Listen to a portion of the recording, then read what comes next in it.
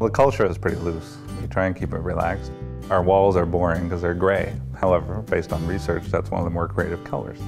The employees are a little bit quirky. Everyone gets to work wherever they wish. The flexibility with work time is a big one, but the biggest thing we love about doing our job is actually getting websites that work for clients. That's really satisfying. The internet speed here is on fiber, and it has been speed tested as the fastest in Ontario.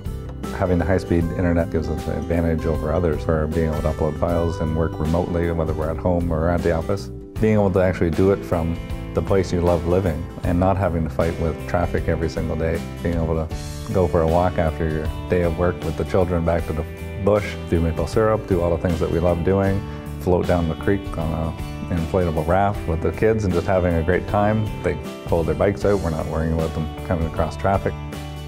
Some of the greatest things about living in Minto really are opportunities that you may not have in a city. There's a lot of cultural assets in, in Minto. There's our public artwork that's been on display. We have a great art council. But then there's also the big sports side of it. It's kind of all here. It's just on a bit of a smaller scale, which kind of makes it a little more accessible for anyone wanting to do it. From the business angle, it's very easy to be able to touch base with those individuals that might be making the decisions. If volunteers or groups have ideas and they bring it to the council or town, it's met with open arms and, okay, how can we do that? That's a big difference in this community those cultural assets, the technology that makes things easy to be able to work from anywhere, all that kind of stuff that people are always kind of searching for. Uh, we have a lot of it here already, and it's being developed, and it's growing, and it's being encouraged.